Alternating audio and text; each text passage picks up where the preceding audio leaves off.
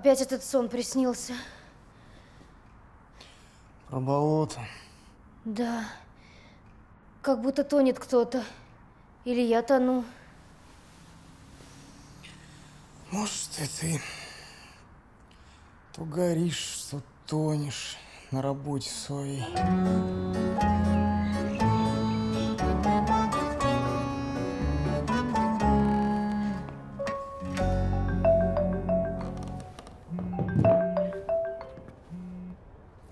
Да, папа, алло. Алло.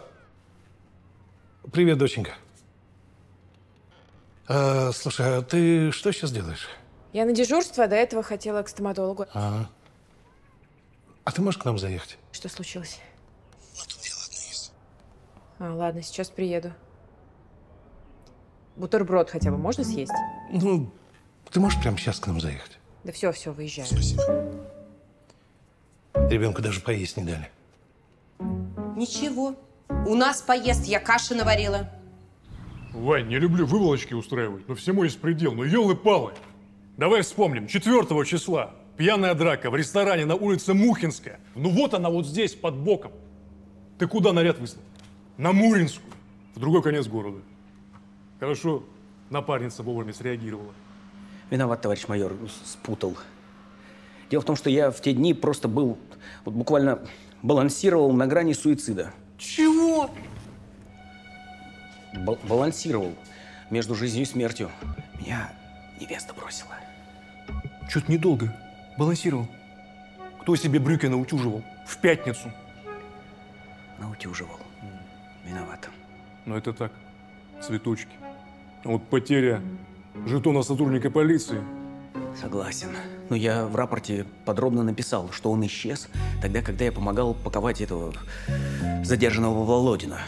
Он активно сопротивлялся в обезьяннике. Вот была целая вот катавасия. Мы с нарядом еле справились. Видимо, во время всего этого жетон как-то вот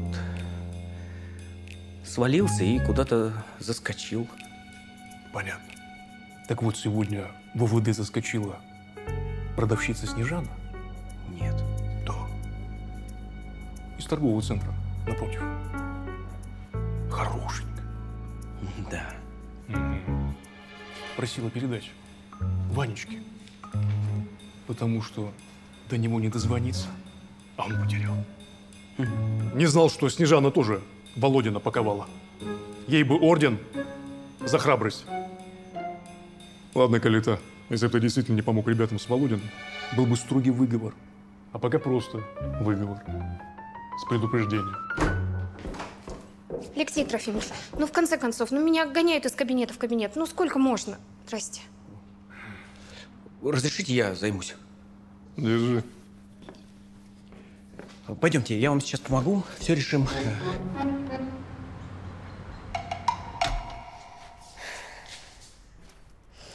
Вить, погода хорошая. Вылезай из своего компьютера. Пойдем погуляем. По магазинам.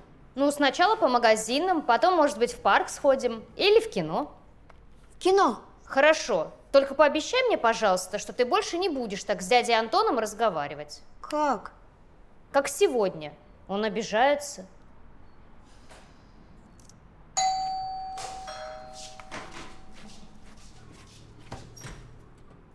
Добрый день. Вы Елизавета? Да.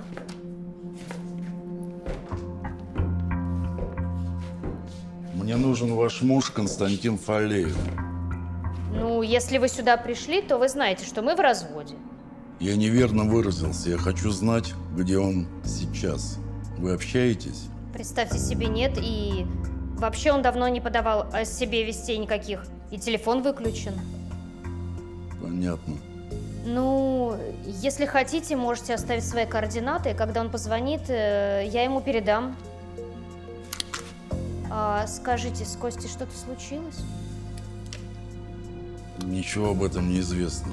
Извините, всего доброго. Доченька, тут, значит, такое дело. Мы с Жанночкой поговорили. Мальчишки у нас совсем от рук отбились. А в сентябре им в школу идти. Со школы не повезло. Школа, мягко скажем, никакая. И продленка отвратительная. Вот. А А Жаночке скоро рожать. Вот, ну, сама знаешь, пеленки, коляски, кормление. Времени нет. Одичают пацаны. Без присмотра. Ну, я не знаю, у меня дежурство сутками, и в любое время вызвать могут. Да никто на твое время не претендует. Мы о том говорим, что близнецам нужно в хорошую школу перевестись. Ну, чтобы там контроль, образование. А такая, как известно, одна в Тишилове. Ну да, ну, первая гимназия Ломоносовская. Элитная, ты же знаешь. А я при чем? Ну, ты как раз и при чем. Так, одеваться быстро. Быстро. Я помогу, я оденусь. Ты не нервничай. Не нервничай. Ну, просто в эту Ломоносовскую гимназию попасть практически невозможно. У Ани твоей Настя в Ломоносовской учится. Ну, вроде да. Ну вот, значит, Аня твоя все подходы знает. Значит, иди к ней и проконсультируйся. Ну, я, я попробую. Давай прямо сейчас. Иди. А то там говорят, для тех, кто из другой школы переводится, там нужны дополнительные тестирования еще. Давай, давай, давай, давай. Ладно, ладно. Ох, что ж за день-то сегодня такой? Девушка, милая. Вас как зовут? Лиза. Да, Елизавета. Я вам десятый раз объясняю. Вы себе головную боль устраиваете, и нам. Ну при чем здесь головная боль, если человек пропал? Кто вам сказал, что он пропал? Телефон не отвечает. Ну, это обычное дело. Разрядился, потерялся, намок. К тому же вы сказали, что вы в разводе, что отношения были неважные. Ну а вдруг с ним что-то случилось? Хорошо, давайте начнем сначала и по порядку. Вы вместе живете? Нет. Ну вот.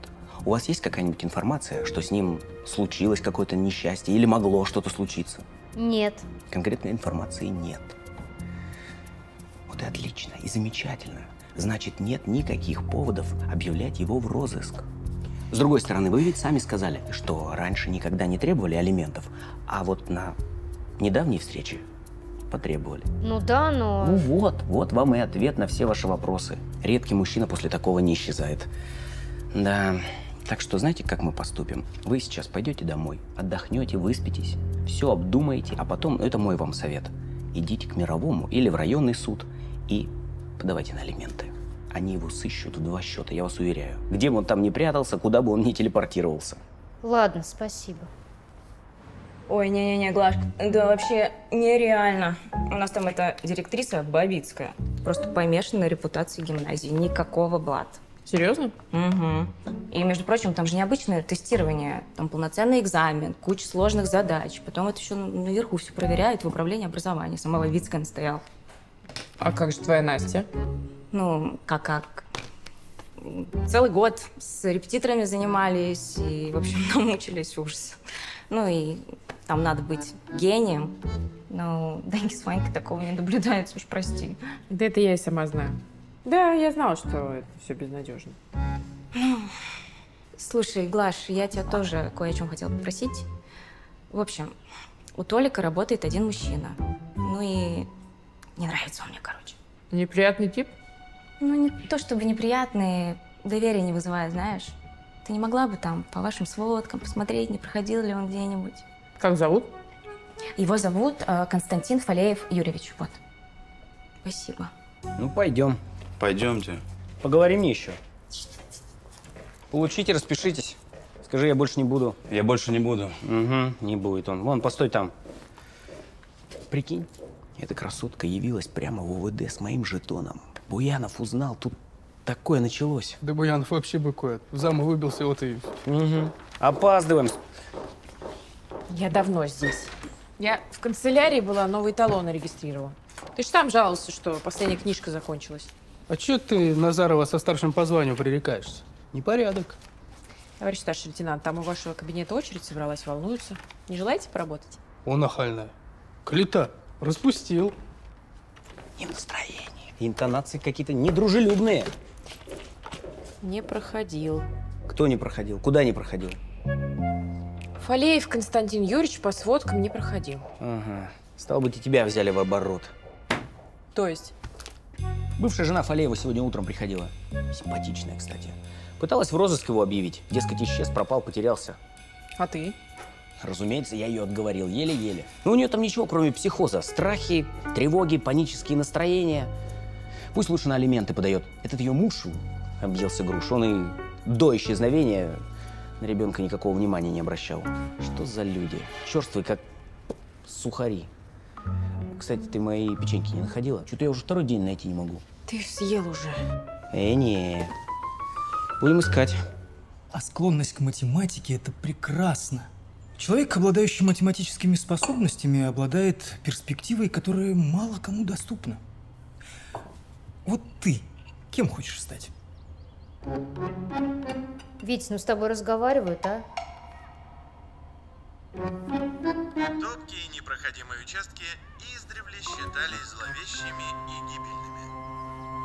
Витя, перестань смотреть в телефон, когда ты обедаешь. Спасибо, я сыт. Вить, как же, а чай? Извини, видимо, переходный возраст начался. Я считаю, что дело в нашем неустойчивом семейном статусе. В неопределенности и, как следствие, нервозности. Вот и ты уже плохо спишь.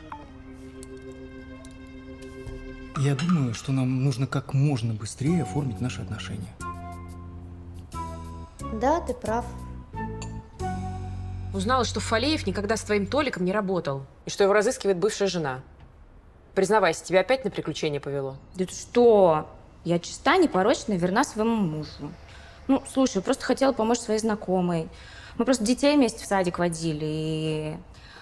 В общем, у нее новый мужчина, очень ревнивый, и не хотела ее светить просто. Ну зачем ей тогда светиться в полиции? Кстати, точно. Слушай, если Лиза сама пришла, значит, у нее реально все плохо. Ну, хочешь, мы можем встретиться с этой твоей бедной Лизой и все выяснить? Да, давай, только не сейчас, а вечером я все организую, хорошо? Ну, прям сейчас я тоже не могу, я на дежурстве. Что-то ты, подруга, темнишь. Вот, смотрите, не успела еще удалить. Фалеев вообще сам по себе человек неплохой. Просто бесшабашный. Авантюрист. Вечно вяжется в какие-то истории, а нам потом всем расхлебывать. Надоело мне это все, вот я и ушла. Прошлой весной к другому. Может, не такому обаятельному, конечно, но зато надежному. А Фалеев? Ну а что, Фалеев? Провернул еще какие-то пару дел, как ни странно, удачных. Даже машину себе дорогую купил. Вот на этой машине и уехал искать приключения. Ну так а что? Странного? Да ничего, просто я Костю две недели назад встретила. Давайте, ешьте. Ну и разозлилась. Из-за ребенка? Ну, конечно. Не пишет, не звонит. А Витька ждет. Вот и сказала ему, что на алименты подам за все время. Мы же официально не оформляли. А он? Ну а что он? Сказал, что были трудности, что деньги переведет, и исчез. И телефон у него выключен. Ну а почему вы думаете, что с ним обязательно что-то случилось? Даже не знаю. Я понимаю, что это звучит очень странно, но снится, что леса какие-то, болото. А, еще вчера мужчина приходил, про него спрашивал. Подозрительный? Ну, вообще, разговаривал вежливо, но на бармалейна какого-то был похож, с бритыми бровями. В полиции говорят, идите подавайте на алименты, они его сразу найдут. Понимаете, мне не настолько эти алименты и деньги нужны, насколько тревожно. Вы мне поможете? Настя, почему уже выше меня? Не знаю. И выше моей бурази. Иди. Спасибо. Так, ты поиграла? Да. Да, а теперь давай, у тебя огромный список литературы на лето. Давай, давай, давай. А у нас с тобой...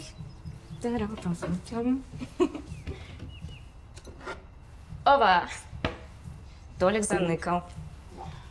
Слушай, Глашка, а почему ты Лизе так кисло пообещала помочь? На тебя вообще не похоже. Ты чем тут поможешь, если этот Фалеев просто непутевый отец? Кажется, Ваня на сей раз был прав. Ваня, это кто? Да Калита, напарник мой. Посоветовал Лизе обратиться за алимент. Нет, конечно, заявление о розыске мы у нее принять обязаны, тем более, если она хочет. Но искать можно бесконечно. К тому же у нас в ОВД разыскными делами дознаватель Кашин занимается. Это редкий лентяй и тормоз. А тут еще никакого криминала. Как это? Ну как, ну ясно же, что Фалеев испарился после того, как бывшая жена о деньгах заговорила. Короче, если Лиза подаст в суд на взыскание алиментов, Фалеева будут разыскивать через службу судебных приставов. Тогда это будет гораздо эффективнее, для ребенка полезней. А все эти сны дурные, сама понимаешь. Так, нет, подожди, а этот мужик подозрительный? Почему он подозрительный? Потому что Фалеева разыскивал. Ну, знал, что тот в городе, захотел увидеться.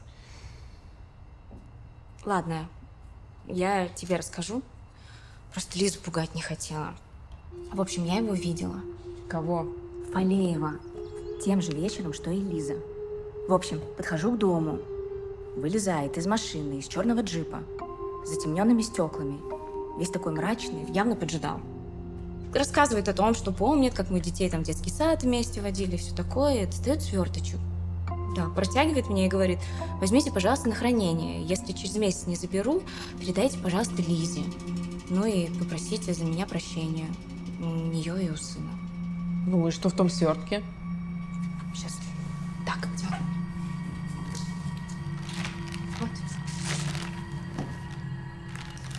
Щетка зубная. Да, понимаешь? Значит, произошло явно что-то страшное. Щетка для чего? Для ДНК. Ну, чтобы в случае чего можно было тело опознать, понимаешь? Фалеев явно ввязался во что-то очень нехорошее. Слушай, какая-то дикая история. Вот именно. Ну, у вас же как в полиции. Ну, нету тела, нету дела. Ну, это так, факультативно. Ну, попробую я, попробую. Спасибо. Ты же у нас самый талантливый, да? О, давай. Лиза, здравствуйте. Я хотела спросить, а вы не знаете, зачем ваш бывший муж в Тишилов приехал? А зачем приезжал, я не знаю. Да, и не спрашивала. Угу. А где он прописан? Э, ну, раньше мы все у его матери жили. Она уже умерла и квартиру сыну оставила. Правда, кто там сейчас живет, я не знаю. Я вчера специально заезжала, никто дверь не открыл. А скиньте мне адрес, пожалуйста. И еще э, телефоны его приятелей здешних. Хорошо. Не видел и не хочу. А увижу, распишу, как бог черепаху. Так и передайте. Кто ж Костяну такие деньжища даст? У него ветер в голове. Денег просил. Только я не дал. Верно, у меня тоже миллион запросил. Сказал, собирается ресторан открыть. Ну, я отказал, конечно. Почему? Во-первых, Костя Фалеев несерьезный человек, прожектор. Во-вторых, мне сейчас не до благотворительности. Проблемы? Расходы большие. Моя фирма на работу с третьим переходит. Слышали о таком? Нет. Изотоп водорода. Радиоактивное вещество. Проникающая способность, правда, маленькая, но требуется переоборудование производства. Понятно. А Фалеев не говорил, где он ресторан открывает? Не помню. Или в Тишилове, или в Лесогорске.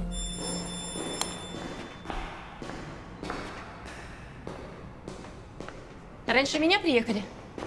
Кто, я? Вы на просмотр квартиры? Я с полиции. Ага. Значит, квартира продается? Да, я риэлтор. Давайте зайдем. У меня вопросы. Пожалуйста.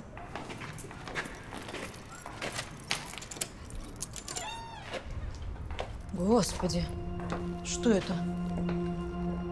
похоже на погром. Или обыск. Понимаете, я владельцу, Фалееву? да, помогала сдавать жилплощадь после смерти матери, а сам он живет в области. А полмесяца назад Константин позвонил и сказал, что хочет продать квартиру и взамен купить комнату, причем очень срочно. Интересно. Ну, Я выследила жильцов, подобрала варианты, а Фалееву ну, не дозвониться. Хотела покупателям показать. И пожалуйста. Не трогайте. Алло, дежурная часть? Это Назарова. О, Лень, Спасибо тебе, Назарова. У меня и так куча дел в производстве. Твоими стараниями новая свалилась. Причем тягомотина не криминальная. как-то не криминальная, а взломанная квартира, погром. И потом, Фалеев пытался занять у своих приятелей деньги, целый миллион. И что? Ну что, ну явно же не для алиментов. Слушай, как думаешь, может его на счетчик поставим? Ну, пошла строить версию. У меня тоже есть версия. Ну какая? Весь этот театр сам неплательщик алиментов и организовал. Ну, типа исчез, но не по своей воле. Да? А зубная щетка? Из той же серии. Или ты что хочешь, чтоб я ее к делу приобщил? Чтоб все ОВД под столом валялось? Сбежал твой Фалеев. У его жены психоз, а ты дурочка наивная. Да пускай я дурочка, но давай хотя бы в Лесогорск съездим, это же рядом. Зачем? Фалеев там временно зарегистрирован, я узнавала. Может, он вообще не сбежал? Слушай, вот у тебя сутки через трое, да?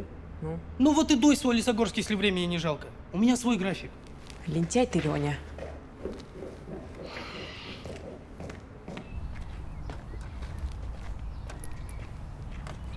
Глаш, привет, а ты разве не выходная? Здрасте.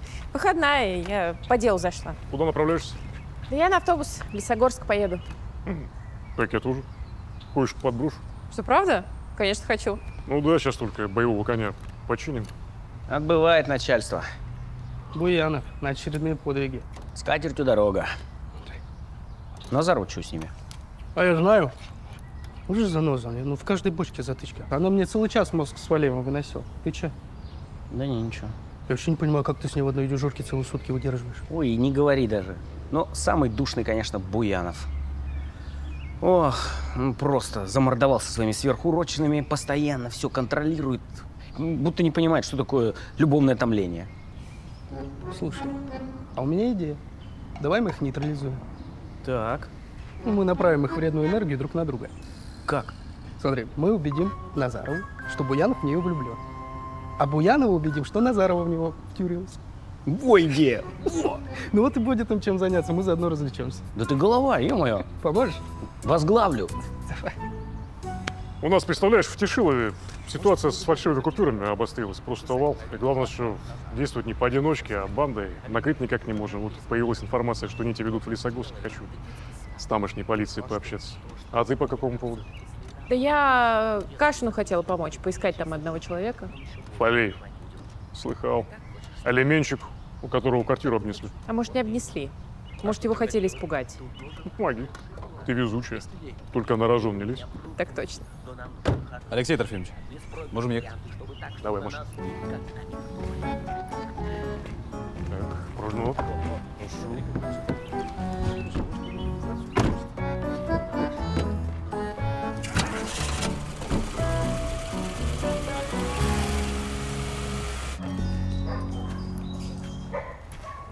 Здравствуйте!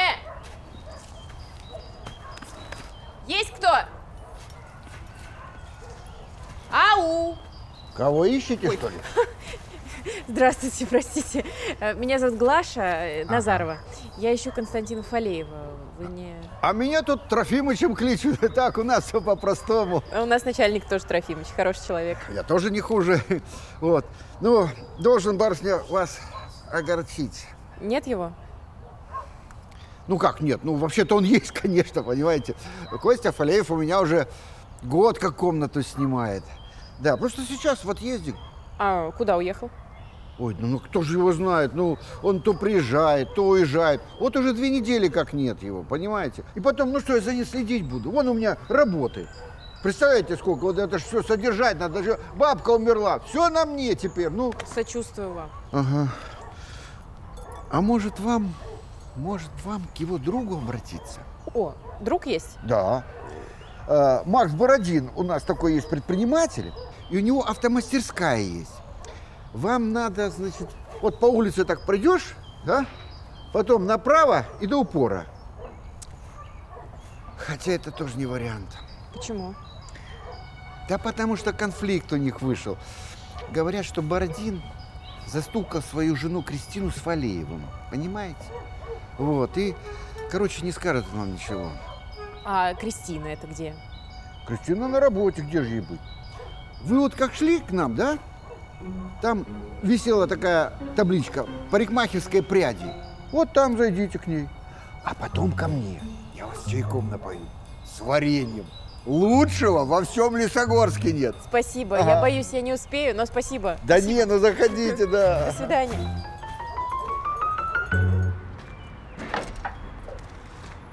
Здравствуйте, это вы меня спрашивали? Здравствуйте, я из Тишилова, из полиции. К нам поступило заявление на розыск Константина Фалеева. Может быть, вы... Я так и знала, господи, что ж теперь будет? Подождите, успокойтесь. Вы понимаете, я его люблю. Кого? Фалеева? Да нет, мужа, Макса, он запил, и я назло. Что, изменили? Да нет, ничего серьезного. Ну, поцеловались, и тут Бородин заходит и такой скандал закатил. А потом?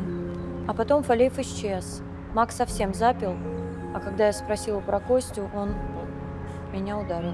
И вы думаете...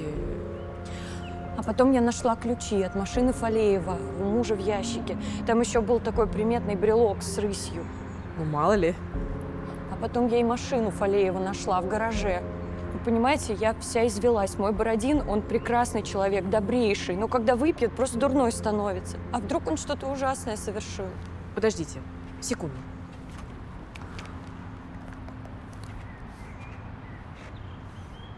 Алексей Трофимович, не отвлекаю? Я тут выяснила, что Фалеев мог стать жертвой бытового убийства. И хотела бы поехать опросить подозреваемого. А вы сказали на рожон не лезть. Подъедете? Отлично. Номер Бородина дадите? Да, сейчас, минуту.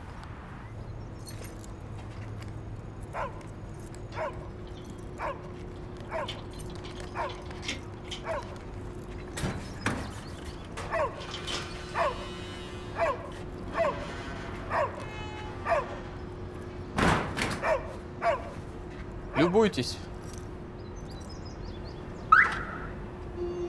Это машина Фалеева. Ну да. Его тачка. И что? Я его пальцем не трогал. Ну а сам-то он где? Сказал же, не знаю. И вообще это я жертва, а не этот ваш Фалеев. Хорошо, расскажите. А что рассказывать? Явился сюда. Давай вместе говорить. Мы с ним в армии служили. Ну, помог ему обустроиться, работу взял. Фалеев же спокойно не может. Загорелся идеей. Присмотрел избу в центре поселка.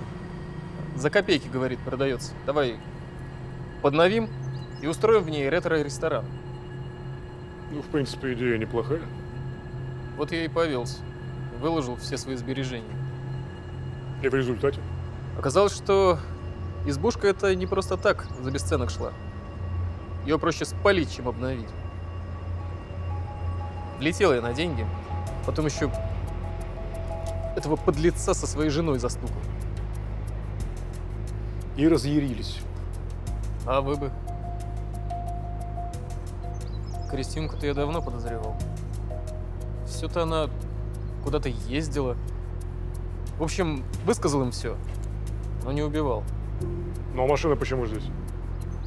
Потому что я хитрее придумал. Я сказал Фалееву, чтобы он мне мой миллион как угодно вернул. Потом пускай катится с Кристинкой на все четыре стороны. Мне объедков не надо. А он? А он сказал, не проблема. Найдет деньги. Только я недоверчив. Машину его себе оставил под залог. А Фалеев уехал. С концами. Кристинка теперь ко мне ластится. Глаза мои не смотрели.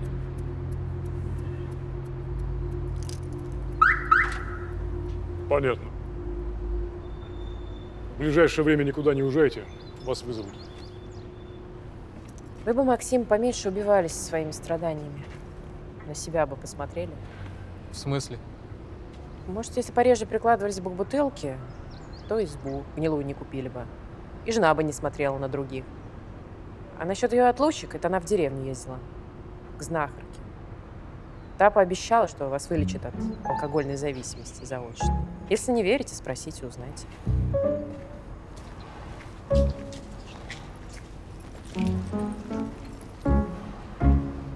Все-таки, мне кажется, Бородин ни при чем.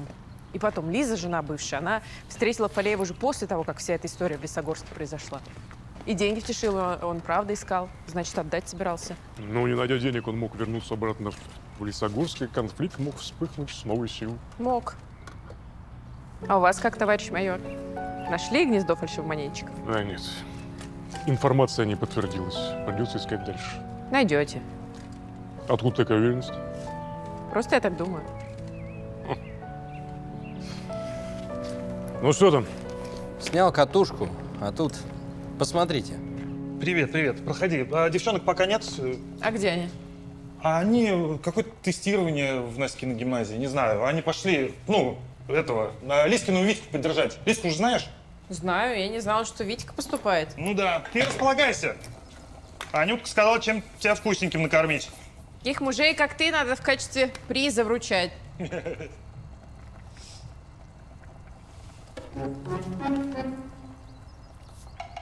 Толь. Ау. Это чья книга? Анюткина? Ну, она на детективу подсела, сама знаешь, после кого. Подожди. А вот это вот тебе знакомо?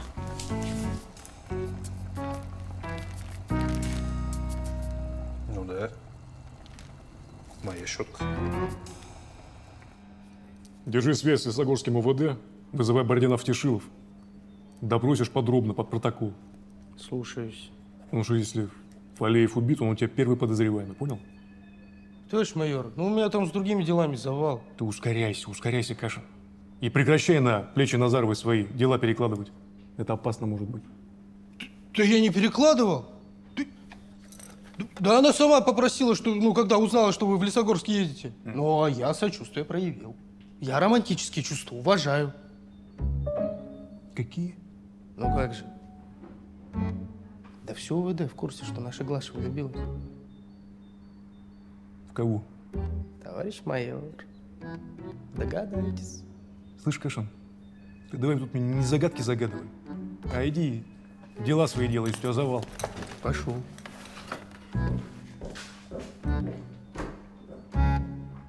Ну да, Глаш, я дура. Что уж там говорить. Стырила сюжеты из дурацкого детектива, свистнула щетку у Толика. Ну, хорошо, а как? Вот как еще я тебя должна была смотивировать? Слушай, кончай юлить. Давай рассказывай, что сделал Фалеев, зачем тебе эти поиски и почему ты меня обманывала. Я не понимаю, как можно было не решить ни одной задачки. Мы не поняли. Чего вы не поняли? Мы испугались. Там знаешь, как сложно было? Вот, например, сколько весит гусь на одной ноге? Гусь на одной ноге. Я, я не знаю, сколько весит гусь на одной. Надо думать, что делать, он гусей считает. Ну, давай поищем другую школу. И зря мы Глашку не послушались. Только детей травмировали. Нет, эти в гимназии просто еще не знают, с кем они связались. Ну, Я сказала, мальчики будут учиться в этой школе. Значит, будут учиться. Да только не нервничай. Я не Нет, нервничаю. ты нервничаешь. Нет, я не нервничаю. Тебе просто нельзя нервничать. Я не нервничаю. В общем, существуют некоторые обстоятельства. Мне неудобно было тебе признаться, понимаешь? Рассказывай. Ладно. В общем, в нашу гимназию Ломоносовскую на самом деле очень легко поступить. Главное иметь деньги и номер человека, который все организует. А как же экзамен? Но он же письменный. В общем, все дело в подстраховке. Есть человек, посредник, который за 50 тысяч выдает родителям дубликаты бланков, на которых будут писать вступительные работы. Исправить можно. Угу. Причем, как ты понимаешь, в комфортной домашней обстановке. Ну и потом этот посредник объезжает подопечных, собирает эти исправленные работы, как ты понимаешь, идеально правильные, ну и меняет их на те, что были написаны в школе. Подожди, ты же говорила, что работу увозят в управление образования. Угу. В понедельник. А работа пишет в субботу. А, лихо придумано. Кто такую схему разработал? Ну, кто-кто? Наверное, само руководство. Это Бабицкая только строит из себя святую. И значит, твоя Настя поступила туда, да? Угу. Да, и тоже через подстраховку.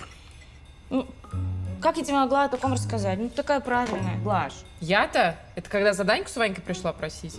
Тем более. Ну, сто тысяч за двоих парней. Ну, откуда у твоих такие деньжищи? Ну, хорошо, ты мне скажи, при чем тут Фалеев? Я ничего не понимаю. Да, это вообще другая история. Это я с Лизой случайно встретилась в магазине, ну где-то месяц назад. Мы разговорились, и Лизка сказала, что ее Витька очень классно шарит в математике. Ну и намекнула на то, что неплохо бы ему перевестись в Настину школу. А ты? Я решила помочь. Дала номер этого посредника, сказал, что от меня.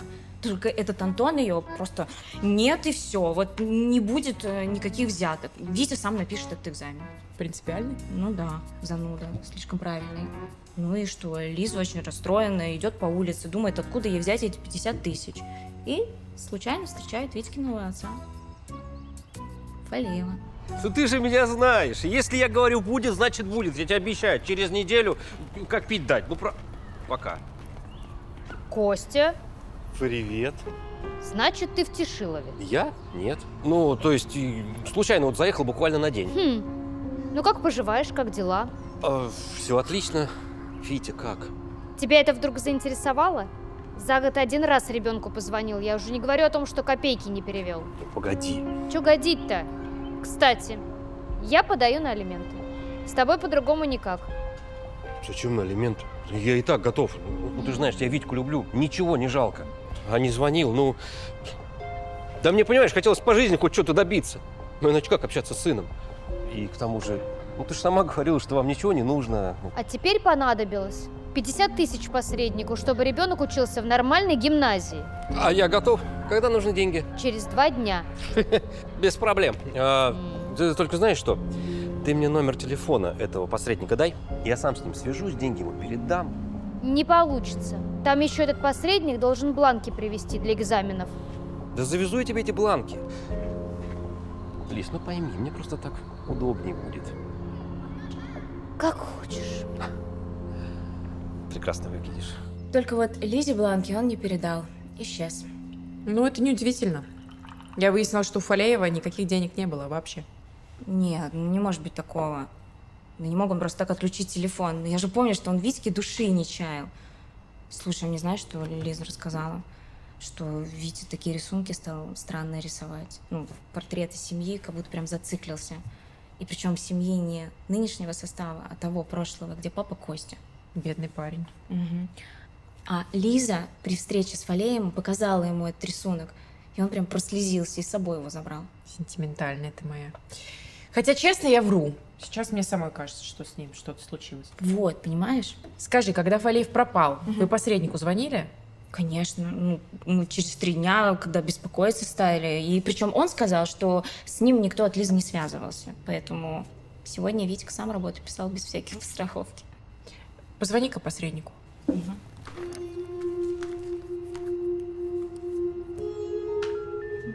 Недоступен. Слушай, не нравится мне все это. Глаш, ну, не может же банальное жульничество в сфере образования быть связано с пропажей человека.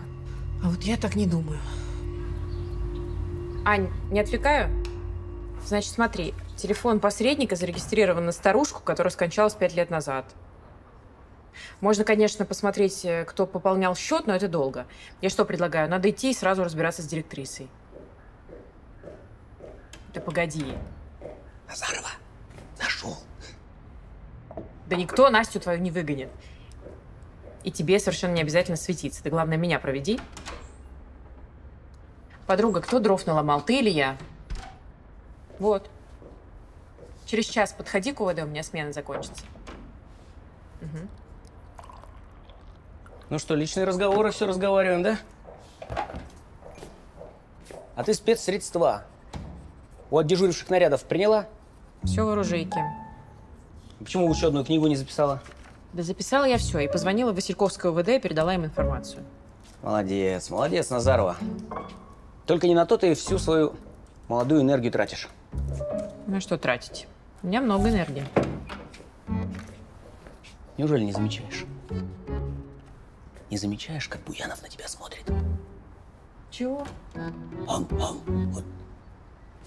Все отделение замечает. Ты одна, не в курсе. Ты что за глупости говоришь тут? Сто процентов он на тебя запал. Можешь мне поверить, даже не сомневайся, я в этих делах спец.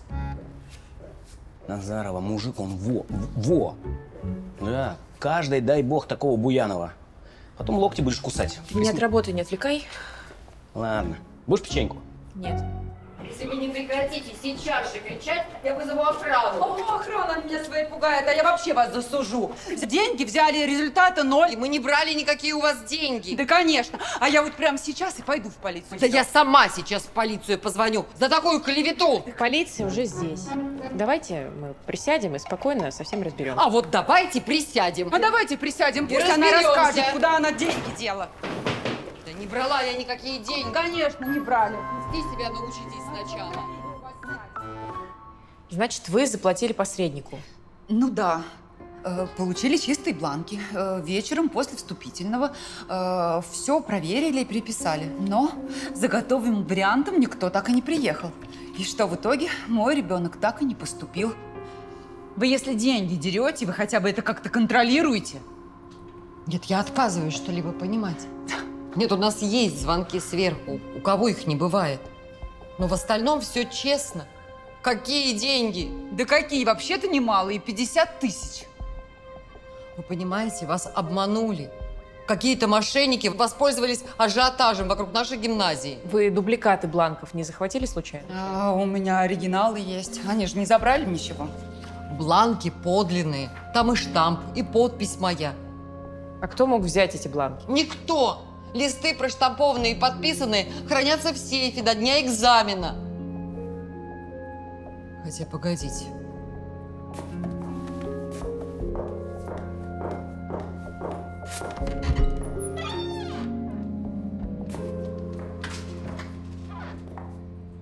Мой секретарь. Масло. Простите, простите. Это мы с мужем эту аферу затеяли. Зарплаты небольшие, думали на пенсию. Ну, расскажите подробнее. А, я секретарь производитель. Значит, я оформляю бланки для вступительных. Ключа сейфа тоже у меня. Вот и оформляла лишние. А Альбина Петровна не знает, она не догадывалась, подмахивала. Дел у нее много. А я потом эти бланки в сейфе меняла до того, как Воронова везут. А посредником был муж? Он не в этой сфере работает. Лицо незнакомое. Вот и помогал. И телефон у него матери умершей остался. По нему с клиентами общался. Так если вы так все отлично наладили, почему же вы у меня бланки-то не забрали? Деньги-то я вам отдала. Да дело в том, что в пятницу перед вступительными мужа на улице какие-то отморозки избили. Еле домой приполз. А я побоялась. что, Думаю, разоблачат, когда буду собирать работу. Решили не рисковать. Не думали, что родители так быстро права начнут качать. Да, конечно. Да мы потом хотели все вернуть. В голове не укладывается. Марина Васильевна, как вы могли? Ведь столько лет вместе. Юбилей собирались праздновать. Марина Васильевна, мне надо срочно поговорить с вашим мужем. Он в больнице? Нет, отказался. Дома пластом лежит. Поехали?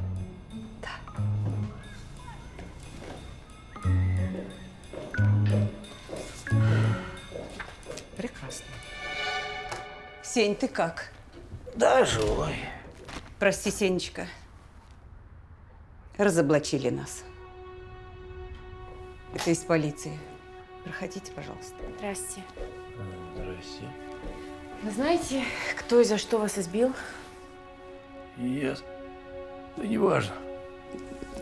У меня только один вопрос. Все остальное потом. Вы видели вот этого человека? Если встречались, но не скажете, я все равно это докажу.